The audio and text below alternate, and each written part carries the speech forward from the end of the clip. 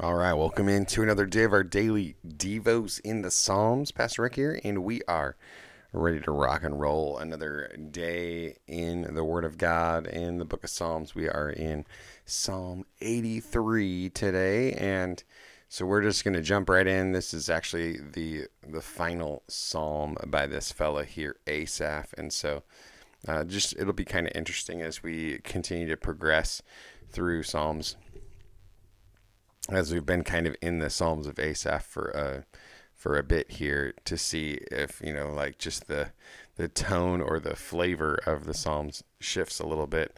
Um, so just kind of you know keep an eye on that and just kind of see uh, if you notice stylistic differences because we'll have a different author um, moving forward into a lot of other psalms. So let's go ahead and jump in to verse one. God do not keep silent. Do not be deaf, God. Do not be quiet. See how your enemies make an uproar. Those who hate you uh, have acted arrogantly. Um, so, interestingly, here in the first verse, God, do not keep silent. Do, do not be deaf, God. Do not be quiet. Is that these are all uh, factors of other gods that people around them served, like other nations around Israel served um, idols and all kinds of stuff, and you know they they were unable to speak, um, unable to act, as they're just uh, you know false gods that they were serving, and and so Asaph is saying, God, don't don't be like their gods. Don't don't be quiet. Don't be deaf. Don't be silent because they are acting arrogantly against you and making an uproar. In verse 3, they devise clever schemes against your people. They conspire against your treasured ones.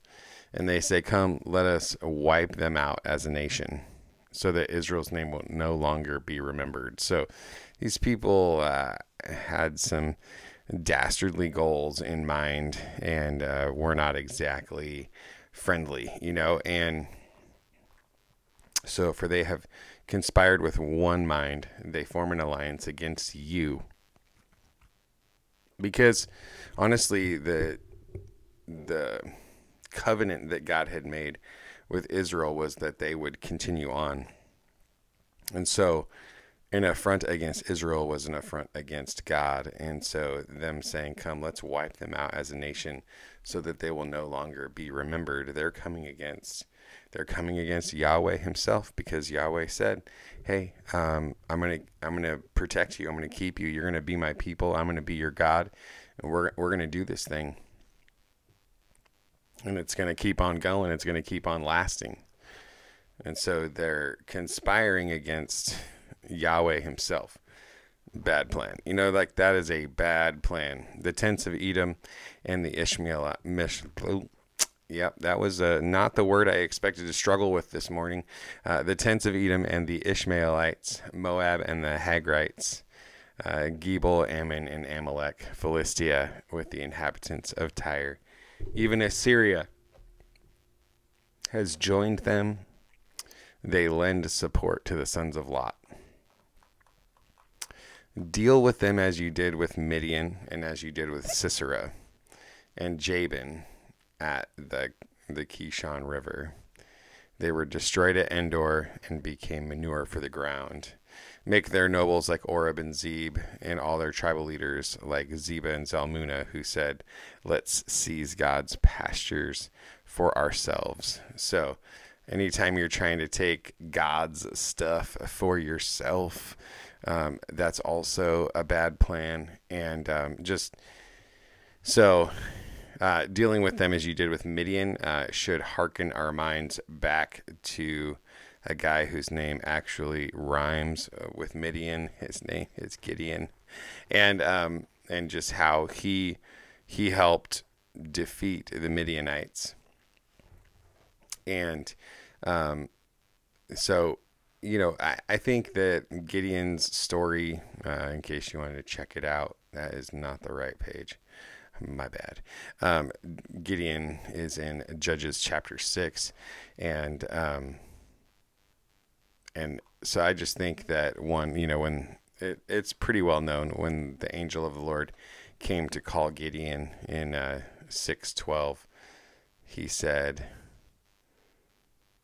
the angel of the Lord appeared to him and said, "The Lord is with you, valiant warrior." Um, but when he came to him, uh, he was threshing wheat in the wine press in order to hide it from the Midianites. So he was he was threshing wheat inside the wine press, which is not your best scenario for for threshing anything. And he was doing it because he was afraid. So he was hiding in fear and the Lord the angel of the Lord comes to him and says, "The Lord is with you, valiant warrior." um, you know, with God, we can do all things. Uh, we can be things that we are not by ourselves. Um, we we get to take on the identity that Christ chooses to give us. Um, most likely, this angel of the Lord was a pre pre incarnation appearance of Jesus. So, if Jesus comes to you and says, "The Lord is with you," valiant warrior that's what you are. Uh, but Gideon, Gideon said to him, "Please, my lord, if the Lord is with us, why has all this happened? And where are all his wonders that our ancestors told us about?" And they said, "Hasn't the Lord brought us out of Egypt? But now the Lord has abandoned us and handed us over to Midian." Now, um, the you know, and fair question. Like, it's good. It's good to ask the questions that are actually rolling around in your mind now, if you know the story of the book of Judges, it's just crazy cycles of rebellion against God going into basically slavery um, with other people as enemies would come in and dominate them um, so that then they would recognize wow life was better when we were serving god and they would turn back to God. They would cry out to God. And so it's actually why Gideon's getting called here is because they cried out to the Lord and uh, he picks he picks Gideon. Um, you know, not not the person you would pick, you know. Um, not the person you would pick at all, but God God likes to pick people that kind of surprise you. uh, so the Lord turned to him and said, Go in strength. Go in the strength you have and deliver Israel from the grasp of Midian because I am sending you. If God's sending you, you're good. You know, the even go, he's, he says, go in the strength you have, um, which didn't seem sufficient, but because I'm sending you, then what you have is sufficient. Like God's gonna, God's gonna make it stretch. God's gonna make it work. You know, and um, and so we know, uh, um, most know that then Gideon and his little army of about 300 soldiers, they took down the Midianites. In a little bit unusual fashion, mind you, but God brought deliverance through Gideon in a situation that didn't seem possible. And it, and it was, I guess the other point I was going to say is, you know, here Gideon's asking questions like, uh, if you're with us, you know, why has all this happened? Well, Gideon, don't don't you know about like the last, you know, 40 years they they've been they've been acting the fool against God, you know? They've been rebelling against God. They haven't been honoring him. They've been seeking other gods. And so this judgment from the Midianites is actually to draw them back to the Lord. So on that note, um, let's take a look at the last couple of verses of this psalm. It says in verse 13, "Make them like a t- make them like tumbleweed, my God, like straw before the wind, as fire burns a forest, as a flame blazes through the mountains. So pursue them with your tempest and terrify them with your storm. Cover their faces with shame, so that they will seek your name, Lord. Cover so pursue them with your tempest and terrify them with your storm and cover them with shame, cover, cover their faces with shame, so that they will seek your name, Lord. And and that is what the Israelites had experienced themselves so they're actually praying like, "Hey, you know how you drew us back to yourself? Let's do that. Let's do that for our enemies." Because we know if they're if they're drawn to seek you, then they're going to be they're going to be better, they're going to be healed, they're going to be, you know, more righteous and kinder and all that stuff. And so I was appreciating as I was reading it this morning, you know, just like, wow, um, that's a really great way to pray for your enemies.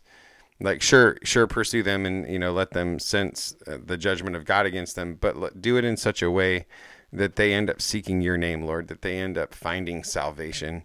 Um, let them be put to shame and terrified forever, and let them perish in disgrace.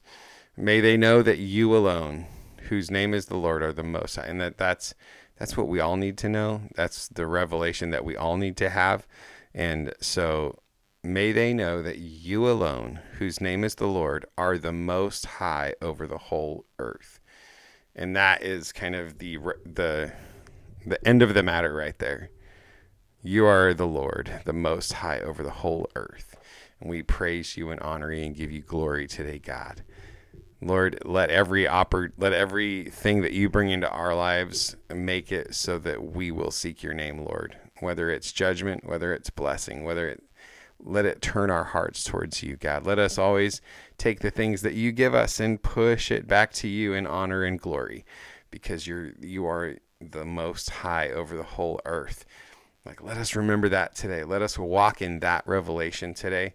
And that way we won't fear our enemies that are coming after us, that have maybe formed an alliance against us, that we can walk in confidence and boldness, that we can be like Gideon, that even when God declares something over us that we have not known to be true about ourselves, that we're able to walk in faith and just simply obey Him wherever He calls us. So, God bless you. Have an amazing day today, and I will see you tomorrow.